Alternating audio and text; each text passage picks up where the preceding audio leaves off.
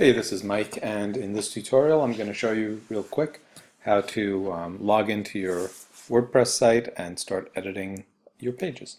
So here I am at the WordPress site that I created for Peninsula Progressive Network, and you'll log in with your username and password that you should have gotten through your email.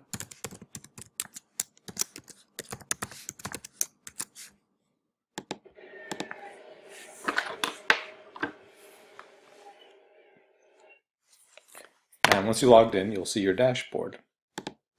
So on your dashboard, you'll notice on the left-hand side is all the things that you can do. And you can toggle back and forth between the dashboard and the website. Up on the top here, you'll see this black bar up at the top, and you'll see where it says Peninsula Progressive Network. And you can go ahead and just click on that, and that'll toggle you between the website and the dashboard. So let's go ahead and create a post. So to create a post, I'll go to Posts, and I'll say Add New.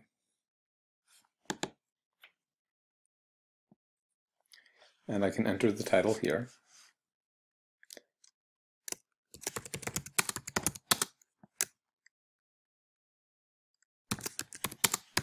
Event for May 7th, for example. And now down below, we'll see there's a text editor and a visual editor. You'll see the two tabs, text and visual. It's probably easier for you to use the visual editor for most things, so I'll click on visual. And now I'll see the visual editor right here. And I can type in whatever I like.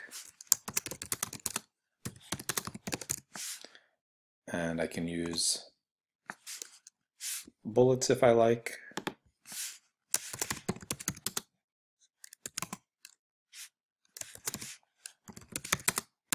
I can add images, whatever I want to do. Um, then when I'm all set, all I need to do is hit publish.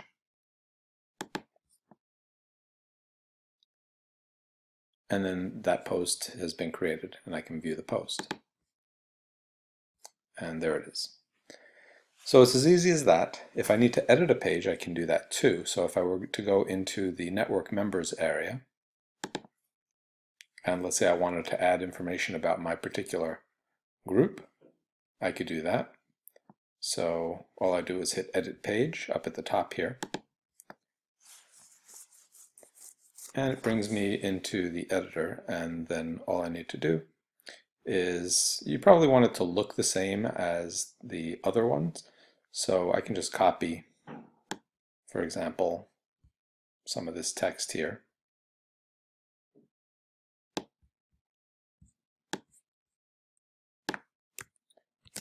and let's say that I wanted to put this into the um, democracy first area.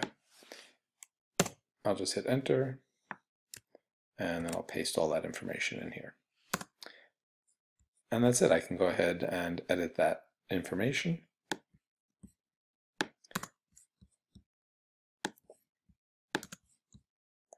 I'll get rid of this and then if Democracy First wants to add their information, they can do that. And then I'll hit update. And then when I go to view the site, the page, I'll see here's all that information. Um, oh, but you see I messed up. So it's not a problem. I'll just go in and edit it and fix it later. The most important thing is to get your information in there.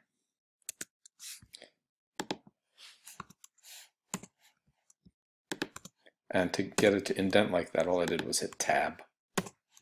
And then all that stuff will indent. And that fixed it. I'll hit update. And then when I view the page, it's all there and ready to go. Just like the Progressive Williamsburg one, just like the Williamsburg Huddles one, and the Williamsburg Indivisible one. Um, all right, so that should be all set.